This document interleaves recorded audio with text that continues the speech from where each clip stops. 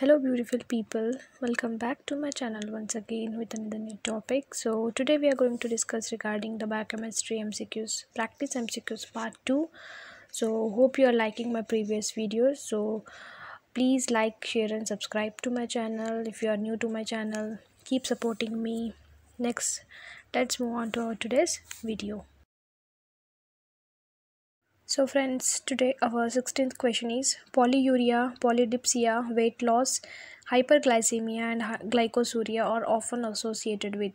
Option A hyperadrenalism, option B hyperpituitarism, option C diabetes mellitus. And option D hyperthyroidism. So here uh, he is asking about the different kinds of symptoms which are related to which disease? So the right answer is option c diabetes mellitus. We can see all these kind of symptoms that is polyuria that is frequently you're getting the urine polydipsia weight loss and hyperglycemia. These are all the con conditions which are also uh, associated with diabetes mellitus. Okay friends so moving on to our 17th question. Glycosylated hemoglobin tells us about the glucose control of a person for the past days of so here he is asking about the glycosylated hemoglobin. Glycosylated hemoglobin is nothing but our daily routine test that is hba1c test so it can be estimated for how many days? In between how many days? Option a 30 days. Option b 60 days. Option c 120 days. And option d 200 days. So the right answer is option c 120 days hemoglobin uh, glycosylated hemoglobin tells about the glucose. Okay friends next moving on to our 18th question. What is the normal ghb level? Option a 1 to 2 percent option b 3 to 5 percent option c 4.5 to 8 percent and option d 9 to 12 percent. So here ghb level is nothing but glycosylated hb level.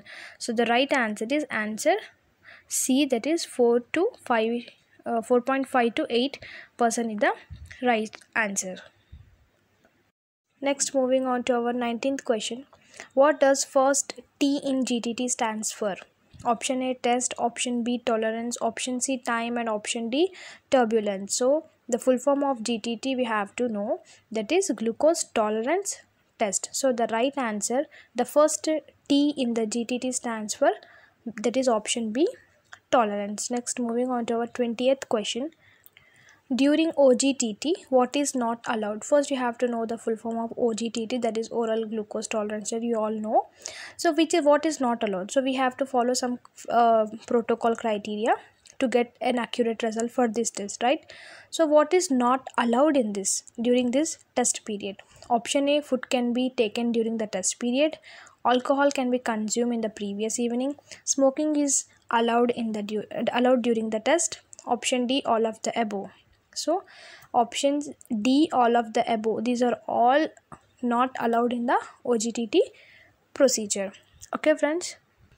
Next moving on to our 21st question. Cerebrospinal fluid for glucose assay should be option a refrigerated. Option b analyzed immediately. Option c heated to 56 degrees centigrade. And option d stored at room temperature after centrifugation. First so here first you have you have you all have to know that we should never refrigerate the csf that is cerebrospinal fluid. So what is the next option we have to do is we have to immediately we have to analyze it immediately. So the right answer for this is option b analyzed immediately. Moving on to our 22nd question. Pregnant woman with symptoms of thirst, frequent urination or unexplained weight loss should have which of the following test performed? Option A tolbutamide test, option B lactose tolerant test, option C epinephrine tolerance test and option D glucose tolerance test. So a pregnant woman with these symptoms what kind of test she should undergo? So the right answer for this is option D glucose tolerance test that is GTT. Just now we have discussed regarding the GTT. Right. Moving on to our 23rd question. In fasting state, the arterial and capillary blood glucose concentration varies from the venous glu glucose concentration by approximately how many mg per dl. Okay, so you have to know that arterial and capillary blood they both are different, right? So what you are asking if they vary the venous glucose concentration by approximately how many mg per dl they, they may be vary from venous and capillary blood.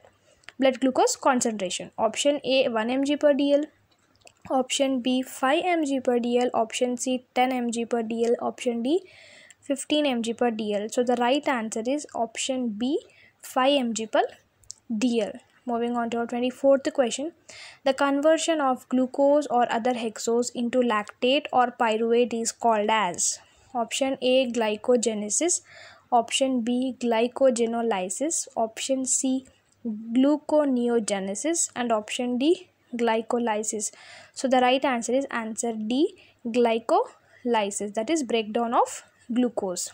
Okay friends moving on to our 25th question. The glycated hemoglobin value represents the integrated values of glucose concentration during preceding option a 1 to 3 weeks option b 4 to 5 weeks option c 6 to 8 weeks and option d 16 to 20 weeks. Answer is answer c 6 to 8 weeks is the right answer. So friends here you should know that this is a simple question but he has been made it very complicated with the different type of question asking pattern. Like uh, he has asking this question. Okay friends moving on moving to our 26th question. Total glycosylated hemoglobin levels in a hemolyzed reflect what? Option a average blood glucose levels of the past 2 to 3 months option b average blood glucose level for the past weeks option c blood glucose level at the time of the sample is drawn Option D hemoglobin A1 levels at the time of the sample drawn. So the right answer is average blood glucose level at the past 2 to 3 months. So next moving on to our 27th question. A patient with hemolytic anemia will option A show a decrease in glycated HB value Option B show an increase in glycated HB value. Option C show little or no change in glycated HB value and option D demonstrate an elevated HbA1 value. So the right answer is option A show a decrease in the glycated HB value. Moving on to our 28th question. An increase in serum acetone is indicative of a defect in the metabolism of what? Option A carbohydrates, option B fat, option C urea nitrogen and option D uric acid so the right answer is option a carbohydrate. They may show that the serum acetone is an indicative of a defect in the metabolism of carbohydrates. Okay. Moving on to our 29th question. A blood sample were collected at the beginning of an exercise class and after 30 minutes of aerobic activity which of the following would be most consistent with the post exercise sample?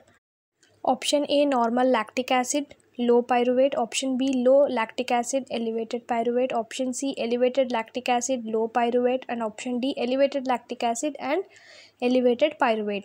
So the right answer is answer d that is elevated lactic acid and elevated pyruvate. Moving on to our 30th question what is the best method to diagnose lactase deficiency? Option a h2 breath test option b plasma aldolase level option c ldh level and option d d xylose test so the right answer is option a h2 breath test is the best method to diagnose lactate deficiency.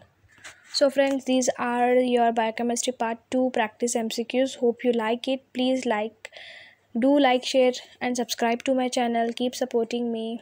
We'll see you soon in our part 3 of biochemistry mcqs thank you